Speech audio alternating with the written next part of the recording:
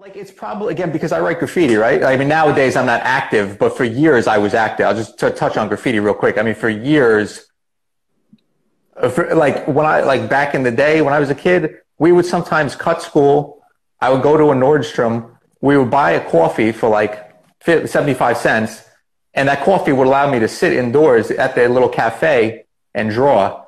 And then I would have like eight more coffees and we would be there like six hours straight, seven hours straight, just drawing in black books. And then, then we would go outside to scope out spots. And then we'd spend the rest of the day just scoping out spots that we were going to hit at night. And then on another day, it would just be days of racking markers. Like I'm talking like Sakura fucking racks in the art store, like the rack that actually held the fucking SG7s.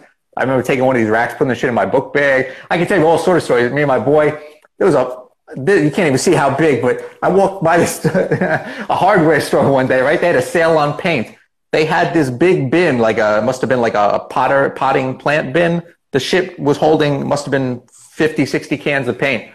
Down the block from there was a, a underpass that went under a street, came up on the other side. We walked by the first time and I saw what was up. I told my man we were a kid. I said, I told yo, let's come back around the block, right? We're gonna walk. You're gonna walk in front of me. I'm gonna walk behind you. We're gonna walk right by this thing. As you walk by, put your hand out to the side, grab the front. I'm gonna grab the back. We're just gonna keep walking. Get to that underpass. We're gonna fucking jet. Long story short, we did. We fucking came to the other side. We had garbage bags. We got garbage bags in our book bag. Came on the blood like Santa Claus just, or like the Grinch who just stole Christmas.